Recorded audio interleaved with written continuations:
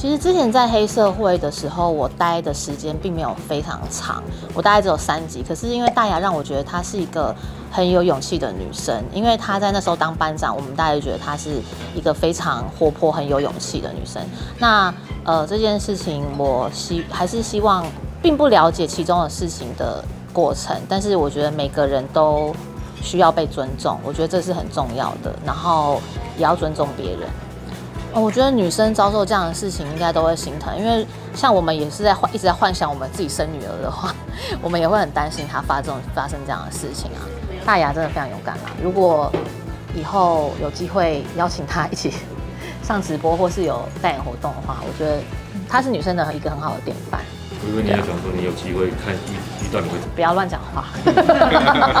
我不太适合再怀第二胎，因为我压力太过大，加上我工作的关系。就是他说我今天如果没有好好去调身体的话，基本上第二胎是蛮难的。对，就是嗯压力太大了，因为这个原因有很多，那其实查不出来到底是什么原因，因为我们都是就是很自然的正常在做人，可是对，可是就是医生说其实是有难度。嗯，基本上我觉得有真的还蛮有感的，比如说肚子啊，或是屁股，因为我都是下下半身泡芙人那种，所以现在。呃，我觉得有真的有有有感。我现在体脂还是高，还是在三十七，可是我之前到四十三，高。可是我之前在四十三，我之前健检的时候是全部红字，然后脂肪肝的那种，但是他这次真的是有慢慢呃轻微，可是医生其实说就是只要改善饮食，基本上很快就会降下来。